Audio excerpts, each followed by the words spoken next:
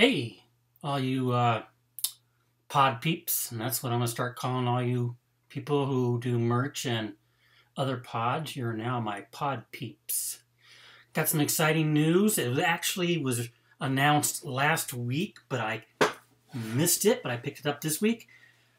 For all those of you that are still waiting to get into merch, but want to sell on Amazon, or you're already on merch, but you want to sell on merch or on Amazon as a private seller, but you don't want to use the three, you know, three tier integrations going through Shopify, Printful to Shopify to Amazon.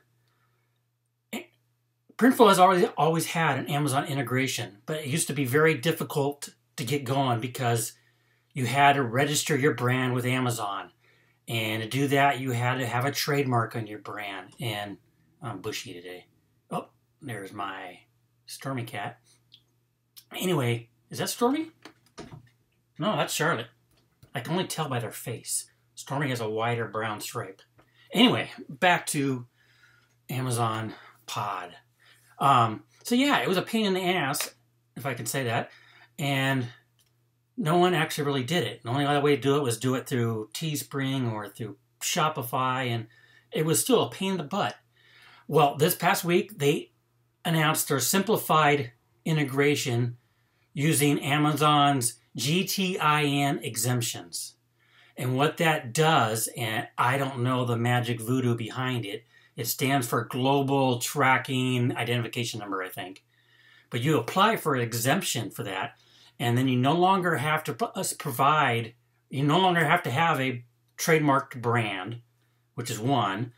And the big one is you no longer have to have a UPC code for every variation. You don't have to have a UPC code at all. So it works very well. Um, I'm not going to go through a big tutorial here because Printful has a great video on it, and I'll link it down below. Burp, burp. Um, it's a very straightforward video, and it really explains the process well. And when you, when you do it, you go to your Printful account and you click New Store, and go down to the uh, integrations and select Amazon, it walks you through everything. And so this video walks you through it because you, you have to create a letter to submit with your application to, for exemption. And they do that for you. They create, you just got to provide simple things and um, they do the letter for you.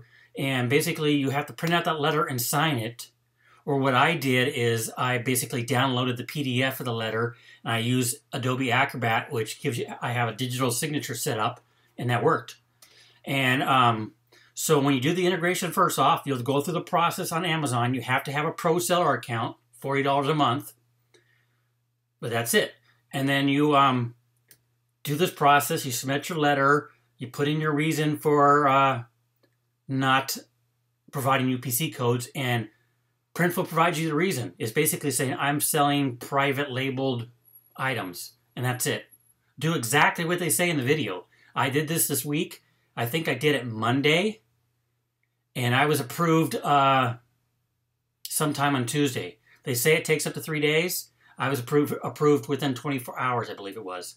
And after that, they say wait 24 hours before loading your loading your first product. Damn, guys. I don't think I waited that long, but I did it. But I will give you a little bit of a warning. It takes a while to push a listing through. I haven't tried doing more than one listing at a time, but one listing, and I'll, I'll walk you through that real quick here in a second. But one listing, you just push it like you would normally like to Etsy or to your website. You select the product, select the uh, the image, set your price, do your description and do your title, um, and then push it. Now, I've been doing tank tops since merch doesn't provide tank tops. Uh, I've been doing women's racerbacks. And um, yeah, with all the color options they have there, except for white, and all the size options, at 64 variations. And it well takes an hour to two hours to push the listing through to Amazon and then it becomes live because I guess it's because of so many variations and they're setting everything up. One thing I haven't, I, I have tried it and it didn't work, and I'm going to try again, is going back to the listing and editing afterwards because I wanted to add a few more bullet points and let people know it can take seven to ten days to ship because um, I want to prevent any warnings or any problems there. So, real quick, I'll do a screen share and I don't know if I really have to, but I'll do a quick screen share showing you the pushing of the product through.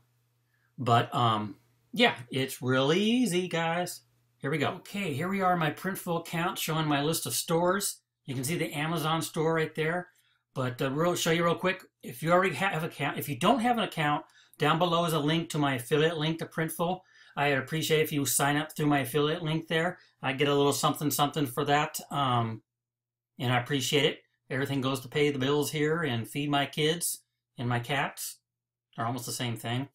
But anyway, once you get an account set up, all you're going to do, go down here, it says to create a new store, choose your method. You're going to click that. And then you're going to go down here and click Amazon.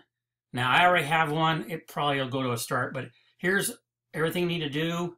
Um, in the video that's down below from Printful, it tells you um, I need to apply for a GTIN exemption. That's what you'll put there. You'll put your Amazon store name there, seller name there, hit continue, and just walks you through it. Do exactly what the video says you'll be set up to go in no time. Um, so let's go back to my stores here, and I'm going to push through a tank top. Um, Amazon. I'm going to do add, and it's really simple. We're going to do shirts. I'm going to do I'm going to do a women's whoops back up one, not a t-shirt.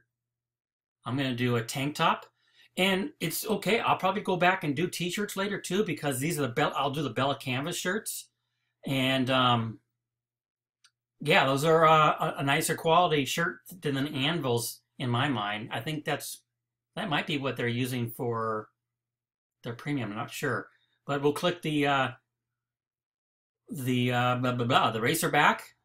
We're gonna go to an image, and I gotta find my. I'm gonna do a color guard shirt. Let's find where I have that one at. Nope. Do I have that up here? Nope. Where do I have that shirt? Maybe it's, uh, it's probably guard something. Let's, let's call it uh, guard. Let's see if I can find it there.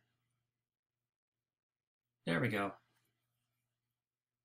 I'm going to make it a little bit bigger. Then horizontally center it again. And bring it down a little bit so it's not so close to the collar. The racer backs put it, right, as you can see the blue line there, right up against the collar. So I move it down a little bit. I already got my colors chosen. You can go back here to product and choose your color. I don't do white because it doesn't look good on white. Heather White, I like Heather White. Um, so that's it. Proceed to mockups. Flat. Proceed to description. Now I'm going to go over here and do a, where is it? There we go. I'm going to do a cut and paste from my spreadsheet here. Get rid of t-shirt. It's Women's Racerback Tank. Then I'm going to grab my description. And I paste it right here. And that's that. Proceed to pricing. Uh, one thing, and I'll probably try to show you it to here. Um, I found out, uh, you know, when you go into your manage inventory in Amazon, it gives you an estimate of the fees. Um, estimate of fees of this is around $4. So keep that in mind to what profit you want. So I've been doing this at $8, so I'll get around a $4 profit. And uh, that's it. It takes care of shipping and everything for you. And you can see here, I still have one going from earlier. So we got two. So you can do a couple at a time. I wouldn't do a lot at the same time. It may, uh, you know, clog up your bandwidth pipes and uh, cause an error. But, uh, and I'll show you real quick over here. Hi, Margaret. Um, manage inventory. Um, here's two of the shirts I already have up. Um, if you go, you click variations. An error occurred when we try to do your request. Try later. That's not nice. Uh, so I'm not going to be able to show you. But you know, it's just fee preview here. It was about $4.14. So, um, hope my shirt's still live. My shirt's still live. No sales yet. But that's it. It's real simple. Um, within an hour or two after you hit that submit, you'll have a shirt live on Amazon. So that's it, folks. Um, I'm kind of excited. It's going to be a slow process getting things uploaded because I'm still uploading to other pods and merch and now Amazon seller account. But it gets rid of the middle person, you know, going through Shopify or going through Teespring. You're selling direct, and it shows up as your brand there. And in hindsight, I and I'm going to see if I can change it. Um, I don't think your brand has to be the same as your store name. I'm not positive, but if I could go back and change my brand name, I would have changed it to match my brand name in merch. So that way, when people click my, go find a merch shirt, click my brand name, they'll be able to see some of my other shirts here as well. In my mugs, I'm going to put mugs up here as well. I might do a mug next and see how long it takes a mug to, uh, since it's only uh, two options, two variations, it might go through a lot quicker. So that's it, folks. I don't want to make this a real long video. I need to go back in the backyard and keep on working out there. I have a project going, as you might see in some of my other videos of my aquaponic system. So that's it. Have a great time. Enjoy loading your shirts up to Amazon and be happy. And I will see you guys later. See ya.